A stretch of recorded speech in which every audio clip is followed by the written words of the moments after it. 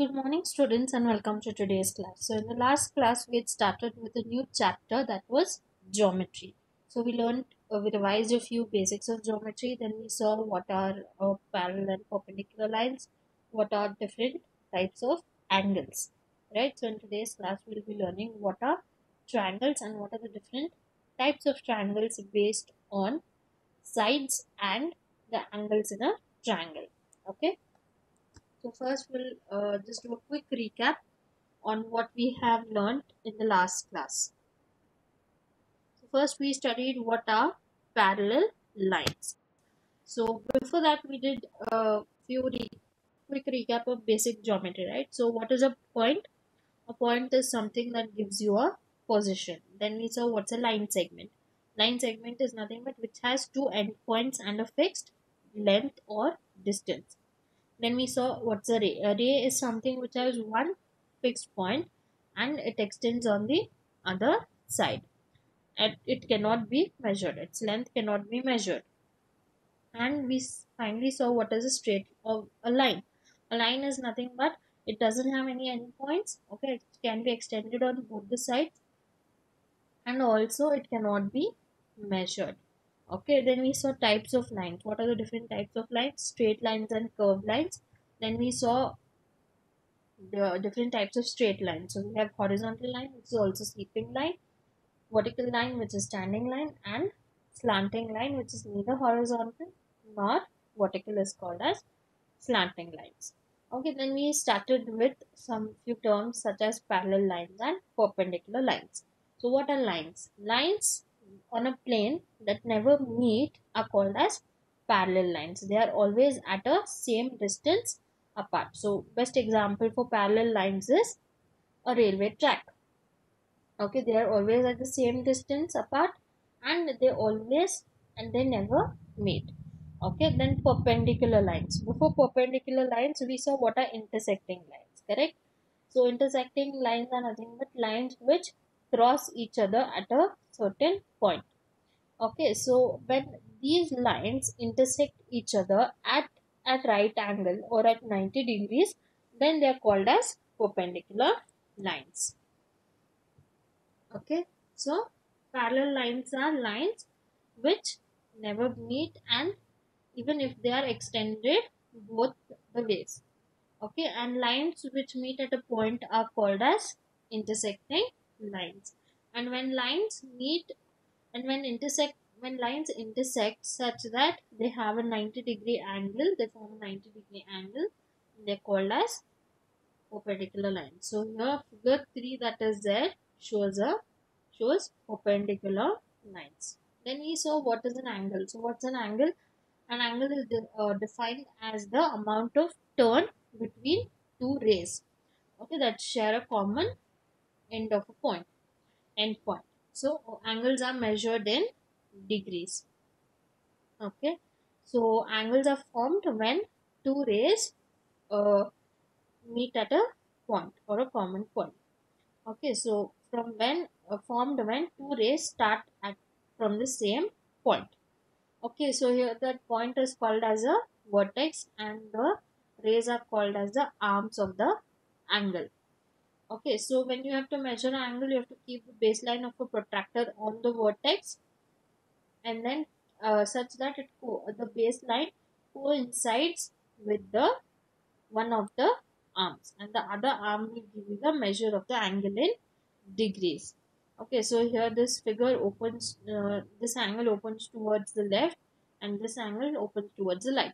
Right so you always start uh, counting from zero of the scale. Okay you always start counting from zero.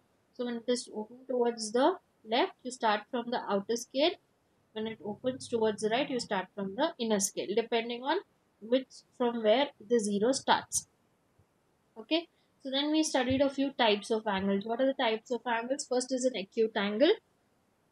So when an angle measures greater than 0 degree but less than 90 degrees then it is called as an acute angle okay acute angle then when an angle measures exactly 90 degrees then it is called as an right angle okay so uh, this POQ angle shows a right angle.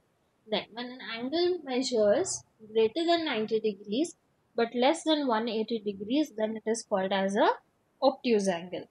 Okay, what is it known as? It is known as an obtuse angle.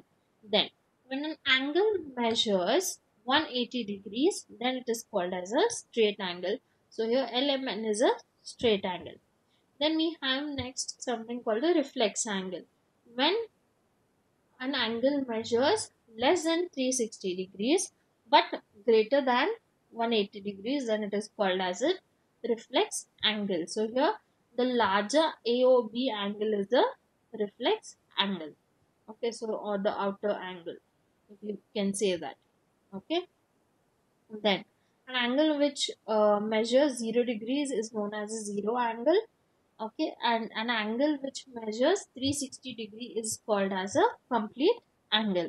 So zero angle and complete angle are named in the same way okay but in a zero angle the ray remains where it is okay but the in a complete angle the ray completes one full rotation and comes back to its original or initial position okay so these are the different types of angles and what was perpendicular and parallel lines which we learned in the last class now what we'll do is we'll see what are triangles and what are the different types of triangles based on sides and angles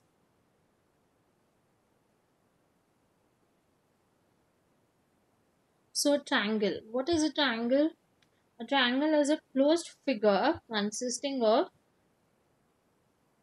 three line segments linked end to end.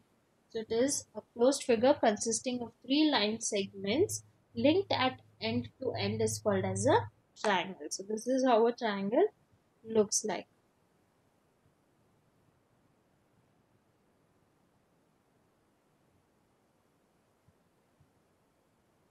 These are how triangles look like. These are different shapes of a triangle.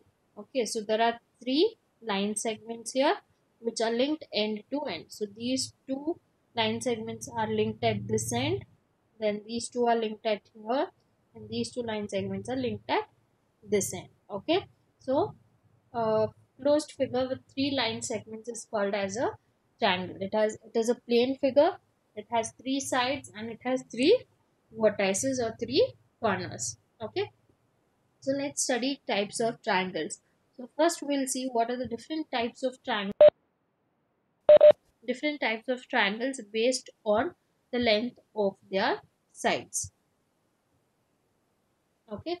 So types of triangles based on length of sides are scalene triangle isosceles triangle and equilateral triangle. So what is a scalene triangle. So scalene triangles are triangles in which none of the three sides are of the same length. Okay, so if I say one side of this triangle is 4 centimeters, then this side is 5 centimeters and this side is 7 centimeters okay all the three sides of this triangle are of different length one is 3 one is 4 and one is 7 centimeters correct? So when the sides are of different length or when none of the sides are of the same length then it is called as a scalene triangle. Okay what is it called? It is called as a scalene triangle. Then isosceles triangle. What is an isosceles triangle? Triangle in which two of the sides are of the same length. So if I say this is 3 cent or 4 centimeters, okay. Uh, okay, let's draw it again. So if I say this side is 3 centimeter, 4 centimeters, this is 3 and this again is 4 centimeters. So these two sides are of the same length, correct? Both are 4 centimeters each. So this is 4, this is 4 and then this is 3.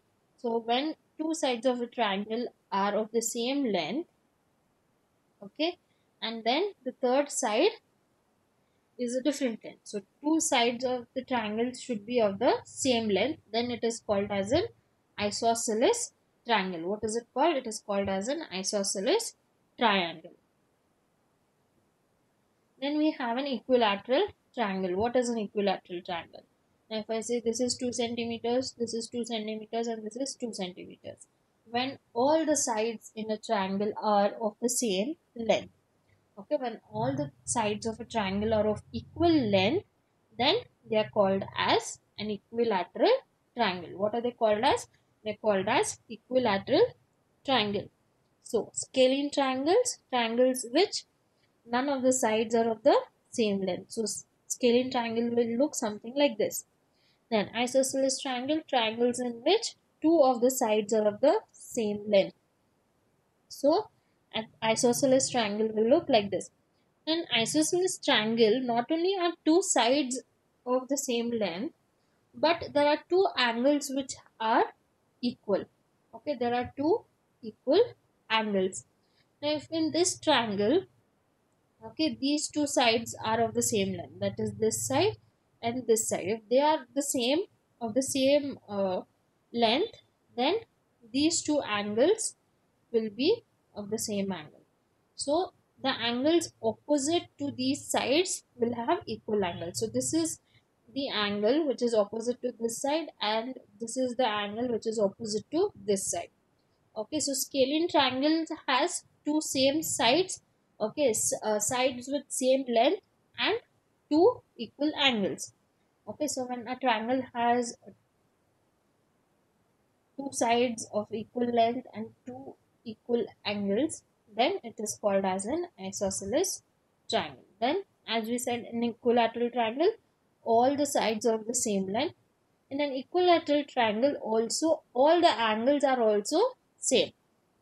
Okay if the sides are all same angles also will be equal so all in an equilateral triangle always all the angles are 60 degrees okay all the angles are always 60 degrees now we'll see types of triangles based on measurement of angles. So we have something called as an acute triangle, obtuse triangle and then right angled triangle. So what is an acute triangle?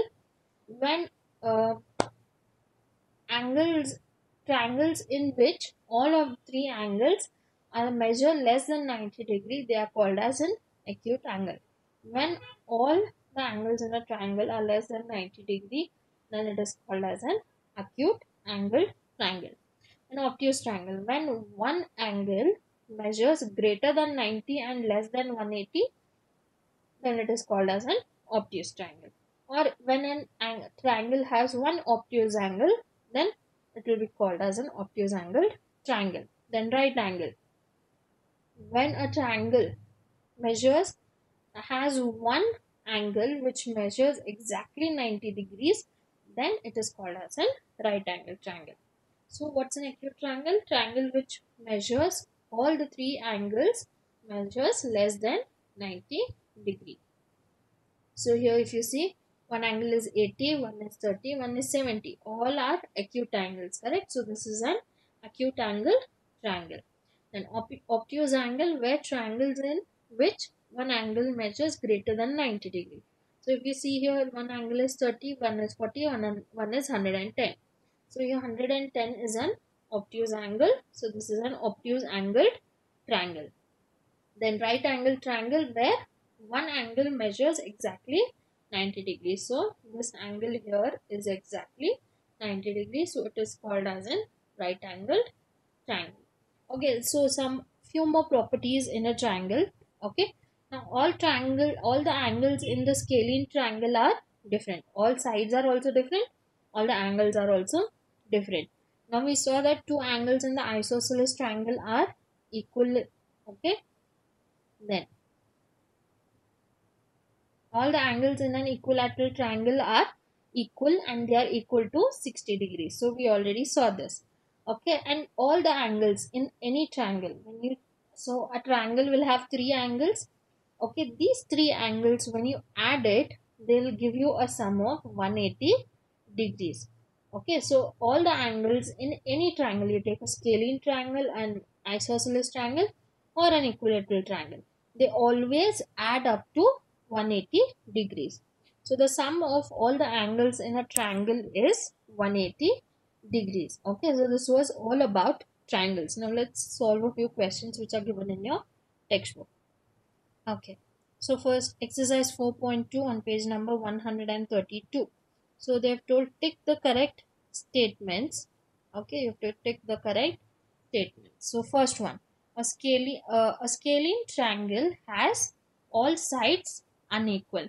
So we just now saw that in a scalene triangle all the sides are unequal. So this is right. So we'll put a tick mark here. Then an obtuse angle triangle has all its angles greater than 90 degrees.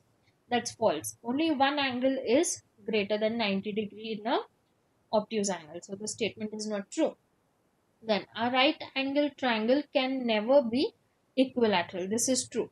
Okay? A right angle triangle can never be equilateral because a equilateral triangle has all 60 degrees okay? So if one angle is 90 degrees in a triangle the rest of the ang- uh, the other two angles will not cannot be 90 degrees because we just now saw that sum of all the angles are 90 degrees okay? So a right angle tri- uh, sorry 180 degrees. So right angle triangle can never be equilateral. So this is true. Then consider the given length of the sides of this triangle and classify them as equilateral isosceles and scalene. Okay first one. One side is pq is 5 centimeters qr is 7 centimeters and pr is 6 centimeters. All the sides are of different lengths. So what kind of a triangle is this? It is a scalene triangle. So we'll write here scalene triangle. Next one. 8 uh, ed is 8 centimeters ft is 8 centimeters and ef is 6 centimeters two, two sides are of the same length so what triangle is this it is an isosceles triangle. Isosceles triangle. Okay, and the last one is for you to do at home. Then, question 3. Classify the following triangles based on the angle. So, one angle is 45 degrees. Okay, in triangle LMN, angle L is 45, angle M is 45 degrees, angle N is 90 degrees. So, one angle is 90 degrees. So, what kind of triangle this is? It is an right angled triangle. Okay, right angle triangle. Next one. And in triangle PQR, angle P is 80 degree, Q is 55 degree and R is 45 degree. All are less than 90, so all are acute angles, so it is an acute angled triangle. Acute angled triangle. Okay, next one. In triangle EFG, angle E is 100 degree, F is 50 degree, and G is 30 degree. So, uh, angle E is 100 degree, which is greater than 90. So, it is an obtuse angle triangle. Okay, it's an obtuse angle triangle. Alright, so this was all about triangles. In the next class, we will study all about circles and how to construct circles. Okay so i'll see you all in the next class students. Uh, there's no much homework this time so you can do this. All right? And you can try and you can uh, try to do different types of triangles and check their angles for your homework. Okay you can draw a scalene triangle with all three sides different. Try to find the angles in a scalene triangle and you can draw isosceles triangle which has two equal uh, lengths and try to prove that two angles in an isosceles triangle are equal. Same with an equilateral triangle, you can draw three sides of equal length and try to prove again that all the angles in an equilateral triangle are 60 degrees. Okay, so do so much for your homework. Next class will start with circles. Okay, thank you.